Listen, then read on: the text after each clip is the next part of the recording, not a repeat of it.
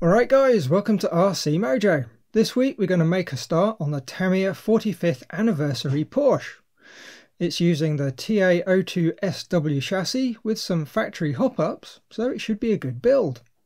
Now this kit isn't ideal for the first time builder, so I'm going to assume anyone following along has built a Tamiya or two already and is familiar with some of the basics. Right, on the first pages we have the standard info on what's required to finish the kit. It basically comes down to needing a radio, ESC and a battery for the electronics, some paint and glue and a fairly typical set of tools. The one thing worth mentioning though, if you're coming from another kit manufacturer, is the screws have a JIS head not Phillips. If you are using a Phillips driver, you'll find you'll struggle getting some of the tighter screws done up without slipping. If you can, do get a set of JIS bits or drivers. On the second page we have the neat warning cartoons and a couple of hookup guides for the electronics. And now for the main event, the start of the build. Thankfully, this kit is divided into sections that match the metal parts bags. So for the first section we only need bag A. Some Tamiya kits you end up with all the bags open, which does get a bit messy.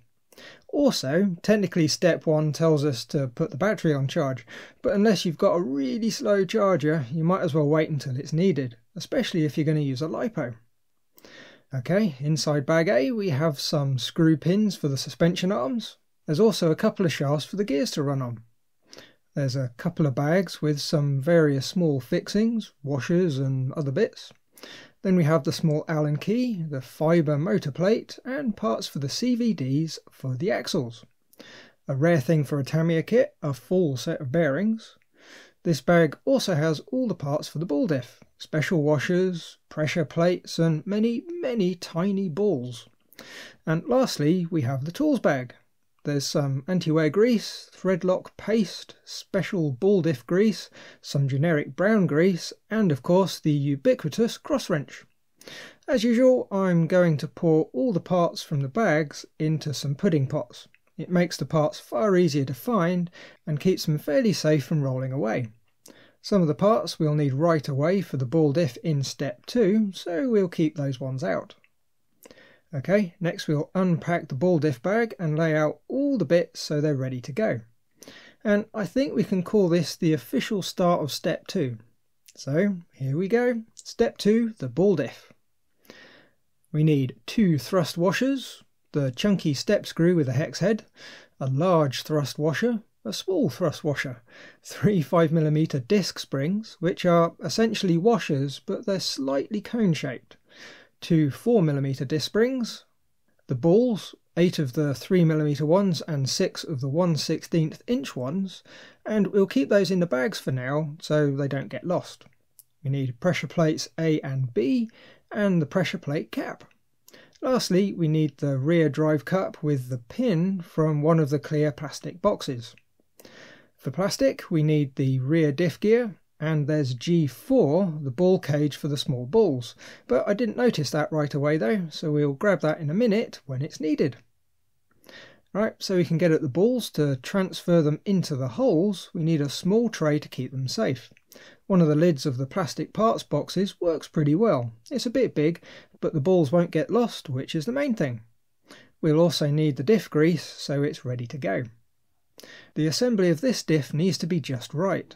All the parts need to be assembled correctly or it simply won't work as it should. Now I'm going to lay out the parts in the order of assembly, matching with the diagram. From top to bottom we have the pressure plate B, a thrust washer, diff gear, another thrust washer and pressure plate A. Right, first we'll take pressure plate A and apply a little bit of ball diff grease where the thrust washer sits, spreading it out with a cocktail stick. You don't need a whole lot of grease, and of course any excess will just get squeezed out when we tighten the diff at the end anyway. Next, a thrust washer goes on. Now make sure the rounded side is facing up and away from the pressure plate. Add a little bit more grease to the face of the thrust washer, then we can offer up the gear. We want the gear so the side with the large holes for the balls is face up so we can insert the balls. If it's the other way up, the holes are going to be too small. Now for the fun bit. We need to transfer the large balls from the tray into the diff. The easiest way is to add a little bit of grease on the end of the small Allen key, pick up a ball and pop it into one of the holes in the gear. This makes it nice and straightforward and it also has the benefit of making sure all the balls get a little bit of grease during assembly. Next we take pressure plate B and just like the other one add a little bit of grease where the thrust washer sits. Then we add the thrust washer, again making sure the rounded side is away from the plate and add some more grease. Pressure plate B now drops into the diff gear so the washer sits on the balls. It's going to be a bit sketchy until the drive cup goes in though. So we're going to add a little bit of grease around the splines, then pop it into the splined hole in pressure plate B so it lines up all the parts. It's going to be a bit wobbly still, but it should be stable enough to continue the assembly. Next we have the stack of parts on the right hand diagram. We need the G4 plastic ball cage here, so we will clip that from the parts tree and add it to the parts. So just like before, we will lay out all the bits in the order we need them. So from bottom to the top, we have two 4mm disc springs, the small thrust washer, the cage with the balls fitted, the large thrust washer, three 5mm disc springs, the step screw, and lastly the pressure plate cap. Right, with the diff gear flipped over so it sat on the drive cup, we can start by dropping in the two small disc springs. Keep in mind that it's absolutely critical with these and the larger ones that they go in the right way. There's a little diagram that shows which way up to fit them. If one goes in upside down, they're not going to act as springs and the tension won't be correct, making the diff slip, causing damage. So triple check and make sure you've got them right. Next is the small thrust washer with a little bit of grease on the faces. And now we have the ball cage with all the small balls. Now the same technique works using a bit of grease and the Allen key. Just take extra care as these balls really are easy to lose. Also, a pair of tweezers is handy to hold a cage, as it's far too small to hold with your fingers. With all the balls in, we can carefully drop the cage into the diff and gently make sure it's sat nice and flat against the washer. Next, a small washer goes in after getting a coat of grease, followed by the three 5mm disc springs. Again, make absolutely sure they're all going in the right way up. To hold all this lot together, we now need to screw in the step screw. Remember, there's lots of bits to get lined up, so don't just go crazy and try and tighten it up all the way. We need to slot the Allen key into the drive cup so we can stop it turning, then start threading in the screw. Gently tighten it until it starts to feel like you're just starting to compress the springs. Then carefully turn the gear against the drive cup. You'll most likely find some of the washers will find their position and it will free up the screw. Keep going until turning the gear no longer frees anything up, then you can tighten up the screw all the way. Now this diff is non-adjustable, so we need to tighten the screw all the way until it reaches the end of the threads. Having said that, it might just be possible to add a shim to loosen the diff a little, but it's really not designed to be adjustable. It's very much a fit and forget setup. When done, you should be able to hold the gear in one hand and with the Allen key slotted into the drive cup, you should be able to spin the internals of the diff. It'll be fairly stiff and might feel a little bit grainy, but importantly, it should be consistent and not catch or get stuck. If so, that's the diff complete and ready to fit.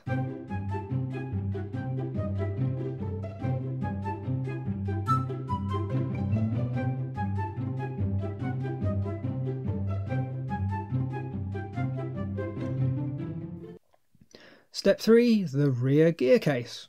We need four 3x10 self-tappers, two 1150 bearings, B4 the diff cover, B7 the rear diff case, and the diff.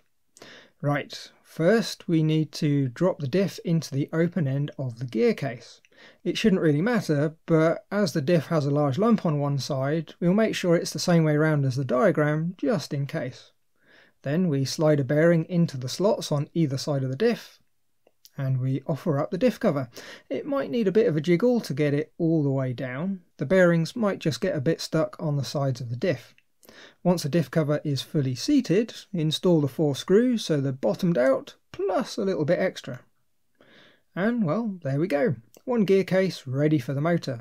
but we're going to wait until next time for that as I'm running out of time to make this video to be ready to go live on Sunday.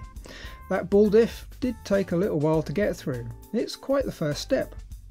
Right, as always then, thanks for watching, like if you liked, subscribe if you haven't, and leave a comment if there's something on your mind. Bye guys!